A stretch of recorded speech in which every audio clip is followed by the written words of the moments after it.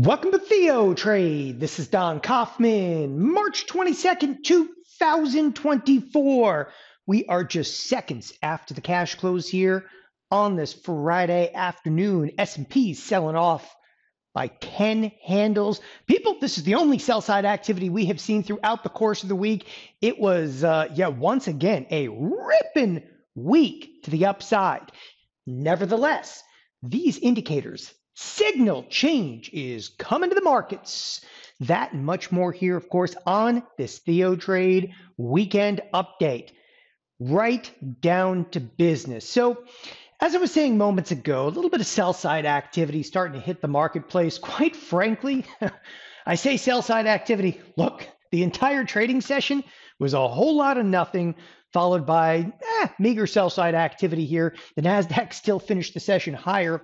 The Russell, however, uh, got hammered a little bit here. But I want to start with where I see, again, a number of indications of some big changes in the marketplace. And I'm actually going to start with trading volumes. They're off considerably. You know, a lot of people don't look at this as like, oh, change is afoot. It's trading volumes are off. Like, who cares, right? It's trading volumes. Except, hold on, this is a Fed week, right? And the uh, the Fed, if we uh, we'll look back at a couple of trading sessions over here. So uh, let's go ahead and move to the daily. But here we are during the uh, the trading week, and what we have here is a five day trading week. Uh, not a lot going on, of course, until the Fed. And the Fed, uh, the market lifted, and the S and P's were up. You know well over 100 points this week, you would expect to see some size trade, especially following the Fed. You didn't get it. And I'm starting off here inside of, again, the S&P futures. For those of you not familiar with the S&P futures, this is really the marketplace that uh, drives order flow. Now, the SPX is where the initiation of trade is, but the hedge is inside of the uh, the ES. And I got to tell you, I, I, look at this and I'm really going to zoom in and bring the volume up. Um, initially, we're just going to look at S&P volume. And the reason I'm bringing this into scope, uh, take a look at the course of this five-day trading week we were lucky to substantiate 1.3 million contracts, but the big standout is right there on the Fed day. There was no size, no size whatsoever. Now, how does that compare to a lot of other trading sessions? Well, you know, there's big volume, and I want to make this point. There's big volume back here. It doesn't really count because that's a roll. And there's big volume right here, and that doesn't really count because that's a roll as well, meaning a roll in the futures contract. But Okay, you know, we can run like a volume average on here, but again, I just like to, uh, on the surface, bring this up. Uh, volume throughout the course of this week, and again, today was just, it was just miserably low volume. I just can't stress it enough. It's miserably low. We barely crested over a million contracts today. You know, if you look at uh, volume though over the last couple of days, whatever you're going into this week, that week, yeah, I've heard it all before, but take a look at volume. And this was a fairly substantial week the S&Ps just didn't trade any size. Now, to further that off there, when I say trading volumes are off, what initially brought this to my attention was uh, was not the S&Ps. I noticed the S&Ps after after what? After looking, well, right here. What you're looking at is an OCC report. I was actually bringing this up uh, live on TheoTrade all throughout the course of the week. And I'm just going to take you into this for a couple of moments because I'm going to tell you right now, this is critically important. Okay, even if you're not that familiar with the, you know, the ES and the uh, the S&P futures, and they drive a lot of the order flow. But bottom line, this is options, and options specifically are what have driven, okay, the S&Ps to their current levels. Okay, and if you start taking a look at the volume, now we're looking at Tuesday, Wednesday, and Thursday. So I, I you know, obviously the uh, the Friday volume markets just closed literally seconds ago. I don't have it. And I'm going to tell you right now, the Friday volume, it's going to be meager. Now, Friday volume should be higher because you know it's a expiration, of course, bigger expiration side of the SPX and bigger expiration because the equity products expire every Friday. But um, just take a look on uh, March 19th. Uh, what do we do? You're like, ah, oh, that's about 39 million contracts. Okay, average average for March has been just shy of uh, almost 50 million. So you're off, and you're off substantially in volume. Um, the one that really bothered me was right here. The one that really bothered me was the uh, the Fed date. Uh, why? because uh, I've 25 years doing this and I've never seen a Fed day this dead ever. Okay, uh, I've never seen a Fed day even close to this dead. We only did 42 million contracts in a Fed day, and again, average for 2024 has been 48 million. When you're off on volume in a Fed day, you know, mm, let's be off by two or three percent, but 10, 15 percent volume missing. And then, of course, uh, yesterday, yesterday was also, uh, you know, some size was just missing. 48 million contracts. We were basically doing average. One of the things I like to point out with that, again, that Fed day really bothered me. A little bit of follow through, of course, on uh, on Thursday, but uh, overall, the volumes, both in the S&P futures, of course, and the options marketplace, are uh, they have ceased to exist. Moreover, I took a, a very detailed look at the gamma squeeze. Looks like it's actually dying out. Now, for those of you that are not aware of this, when I start talking about gamma squeezes and so forth, I'm talking about uh, like if you look at Microsoft and we open up option statistics here, and I'm actually going to take you into this, you know, mm, take a look at some of the volume. Now, you can look at a subset which is called Sizzle. Sizzle is today's option volume versus the previous five trading days. Uh, Microsoft is doing no size. I mean, there's basically a one means nothing, but there's there's no heavy contract size in the calls. Okay, there's nothing in there. Uh, I looked at Apple. There's no heavy contract size inside of Apple, and you should see every Friday unequivocally, the sizzle should be almost two in here. Go, why do you say that? Because equity products like an Apple and equity products like a Microsoft, they only expire once a week, right? So you should see size trading on the Friday because what a lot of traders do is they'll close stuff out on a Friday, roll it to the following Friday, but we're always rolling Friday to Friday, and Friday happens to be by far and away the biggest day. You see Apple at like 1.2, it's totally dead. I looked at Amazon. Okay, Amazon size in here didn't even hit one. It's crazy. It's really, really light. I'm telling you, this has changed. Now, Google, Google actually had a lot of news on it. Okay. Google had some call buying. Google had news. Google is up 2%. Volume was dead. Meta, shocking. Meta didn't even hit 90% of its normal volume. Tesla, also news driven in here, 1.3. Uh, last but not least, NVIDIA, which did break to the upside again today. Ah, it was the only one that actually had a sizzle.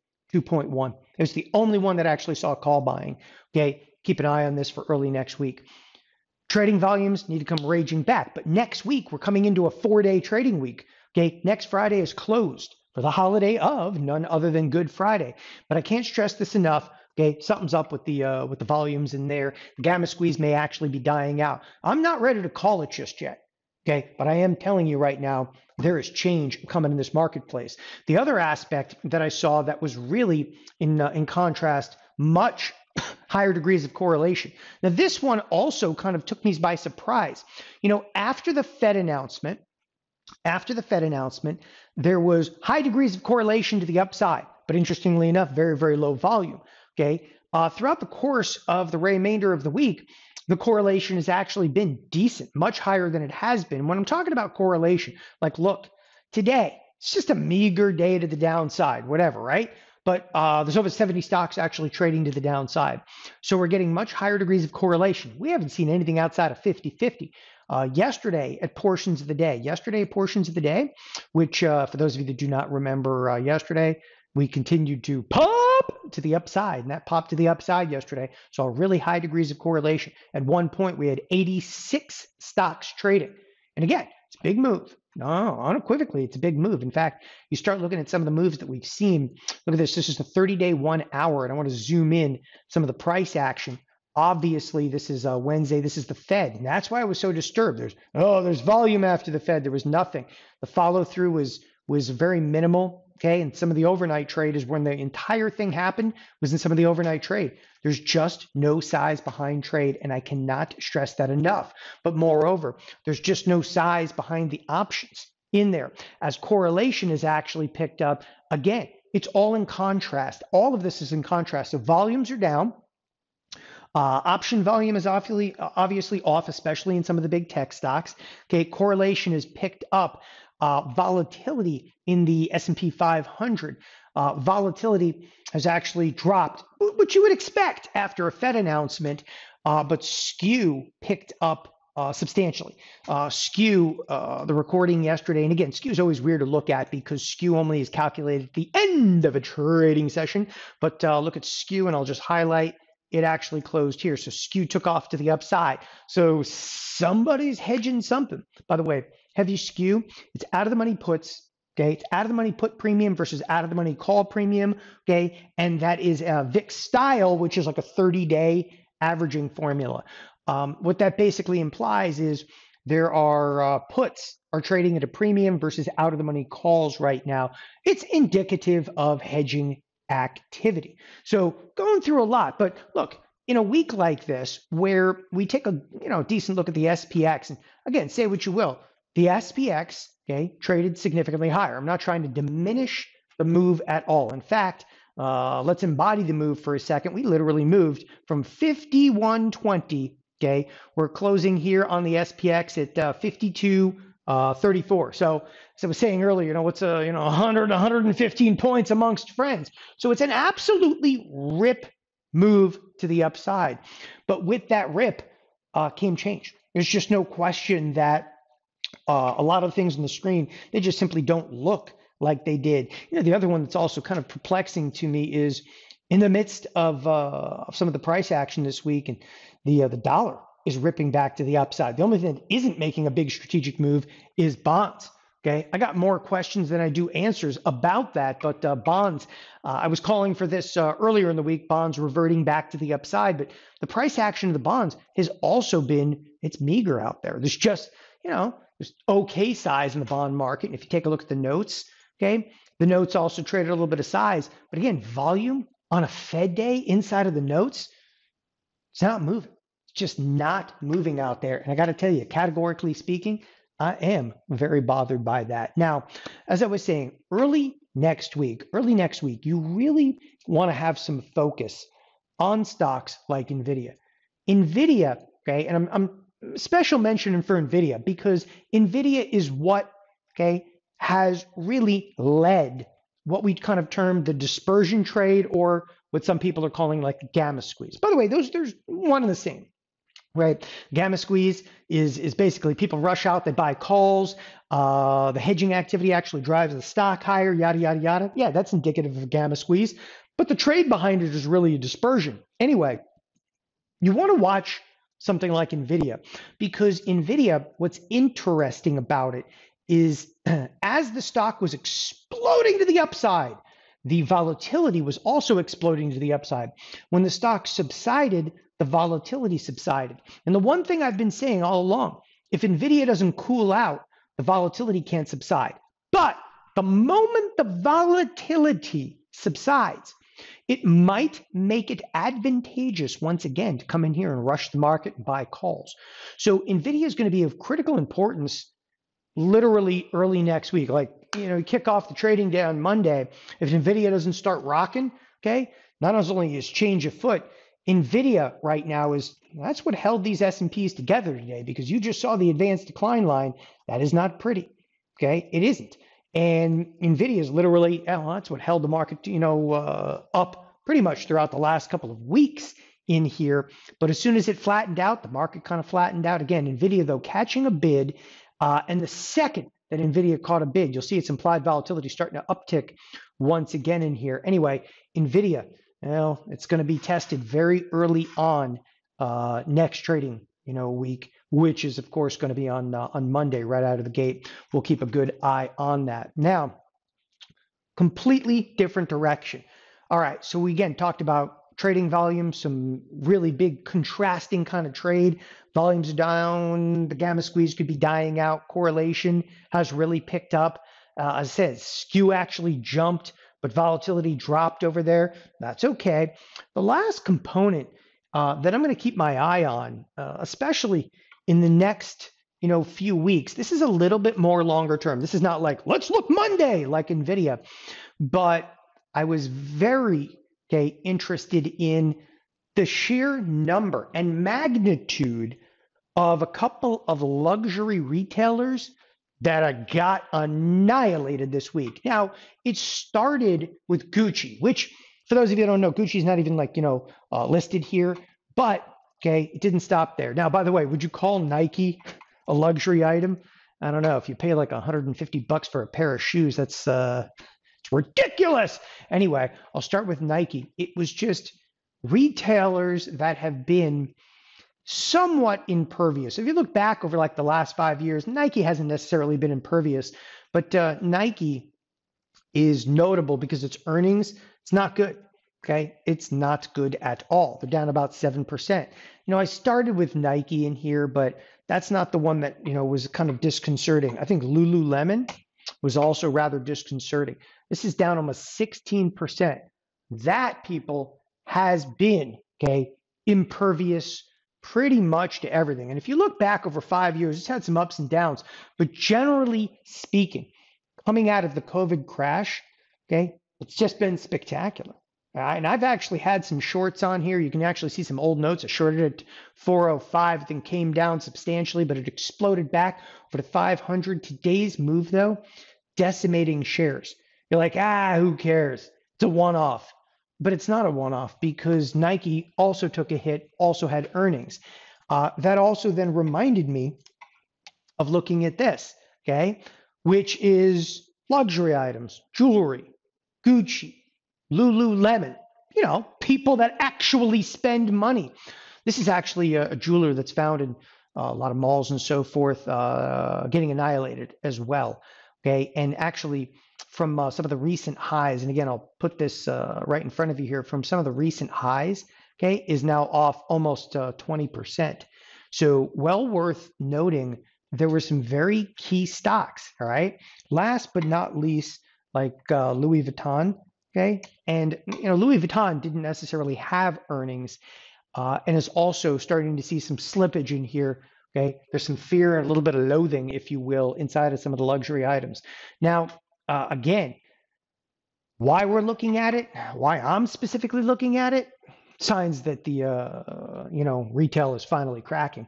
And moreover, if you look at stuff like XRT, which is a retail ETF, and this retail ETF though, it doesn't embody like you know stuff like luxury items, but you have to be concerned about the luxury items. Anyway, XRT, but me personally, I, I, don't like, I looked at XRT. And when I say I looked at it, I looked actually at some of the components of XRT, didn't really do it for me. I looked a lot more at XLP. Okay. And this is consumer staples. Consumer staples, this thing has been a freight train to the upside. Of course, some of the leaders in there have been none other than like Walmart. Okay. Walmart has just been a freight train. Target, I mean, unbelievable. Target actually gapping a little bit higher. Um, the reason that I'm bringing up some of the luxury items, okay, it always starts that way and it always ends up here. Okay. And I also noticed today, I think it was uh, five below. Okay. Five below annihilated this week. I mean, just totally and completely decimated this week. Stock's down another, you know, like three, four percent. But uh, again, that's that's a uh, well. Here, you want to see the uh, the drop just this week alone? And you're dropping uh, almost twenty percent on the week. Okay, there's retail, and it's it's just in pockets right now but pay attention, pay very careful attention. As I was saying, I think there might be some trade opportunities. I just don't know if the trade opportunity is like, oh, let's get on it next week, or do we want to push it a little bit further out in time? This may be a phenomenal opportunity expressly inside of uh, what we term catapult. Uh, in catapult, I may be able to pull off uh, XLP and do it against like the S&Ps. So we take this this big wicked bearish position in XLP and we'll finance it in the S&Ps. But if retail's coming off, it's going to end up in the uh, in uh, consumer staples. It'll end up in the XRT, uh, and I'm going to be there for it. Okay. Uh, I also want to show you uh, an interesting move today that kind of also caught me off guard. One of the biggest moves uh, higher this week which is pretty shocking off the Fed news, was the uh, XLF. The XLF pulled back dramatically today, um, right back to the upper edge of the expected move. And I say dramatically, look, it's a 1% sell off. You haven't seen a 1% sell off. I just want you to look objectively. Uh, you've seen maybe like one 1% sell off anywhere in the last couple of weeks in here. And I just want to also make the point the move in the financials, okay, 34% to the upside, okay, without really any pullback. And the irony of that, when you zoom in, today's move actually looks rather substantial versus some of the price action that you've seen as of late. I mean, again, shockingly bullish in here today, seeing a bit of a reversal. And it's the uh, financials coming off along with energy, which was down nominally, that uh, really caused, if you will, the advanced decline line to, uh, well, to be ugly. All right, last thing I cover, and I always cover this because I think it's instrumental, okay, is the uh, SPX. And uh, I cover this each and every weekend, you know, right into the weekend video, right at the end of it. This SPX is, it's instrumental because it's handicapping what next week is going to look like. And you know, last weekend, last weekend I was telling you like like, you know, look, the SPX expect a lot of like volume, expect a lot of volatility in here. Last week we had an $81 move. $81 move being priced in over here. So uh, you know, plus or minus 81 bucks. That was last week. Actual move about 115. So we breached, okay, expected move. So where do we fall? Outside the upper edge of the expected move. Uh, I'm making a little bit of a deal of that this this weekend, and I'm going to tell you exactly why.